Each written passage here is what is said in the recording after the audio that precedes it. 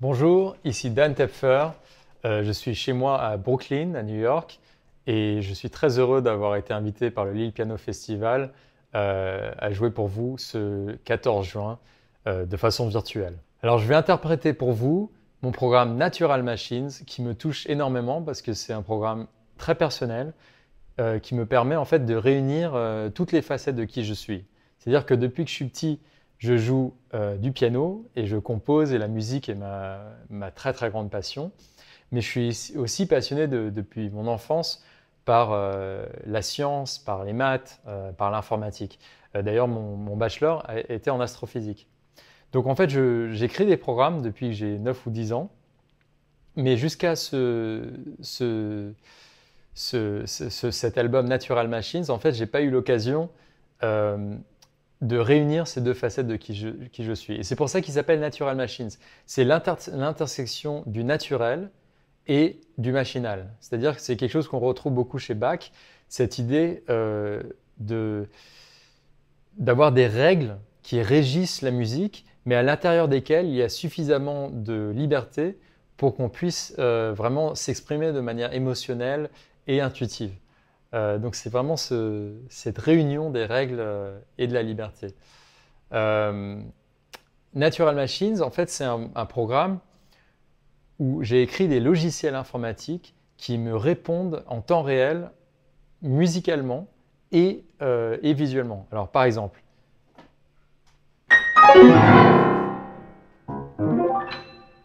vous voyez, j'improvise, je fais de l'improvisation libre et mon piano me répond en temps réel et génère en temps réel euh, une, représentation visuelle de la musique. Alors pour moi, la musique a avant tout un rôle, c'est de réunir les gens.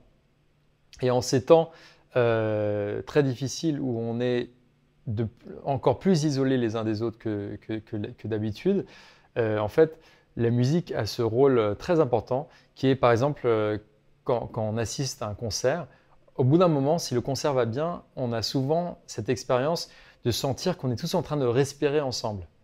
Et tout d'un coup, on se sent vraiment ensemble et, ce sentiment d'isolation euh, euh, disparaît. Donc ça, c'est une des magies euh, de la musique.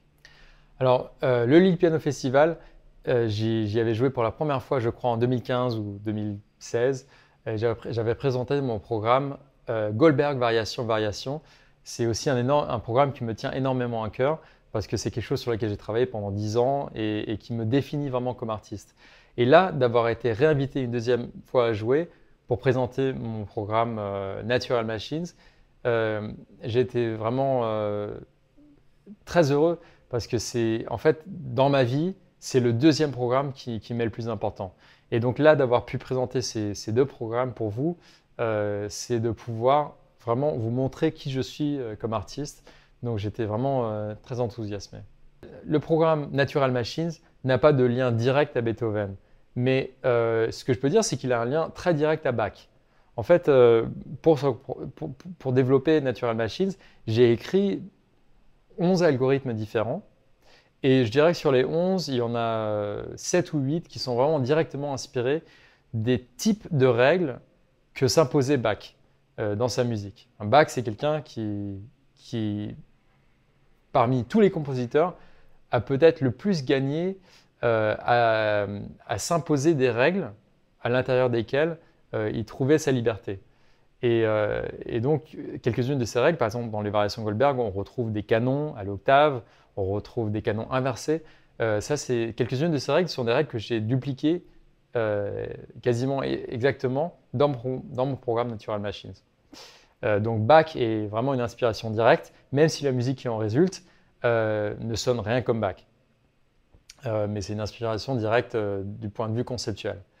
Alors Beethoven, s'il a, une influence sur Natural Machines, ce serait plutôt une influence harmonique. C'est-à-dire que Beethoven, c'est le compositeur qui a commencé à chercher des relations euh, harmoniques beaucoup plus lointaines. C'est celui qui, pouvait écrire une sonate où on commence dans une tonalité et on voyage dans des tonalités vraiment très distantes, beaucoup plus distantes que celles, euh, par exemple, vers lesquelles aurait pu se diriger Bach.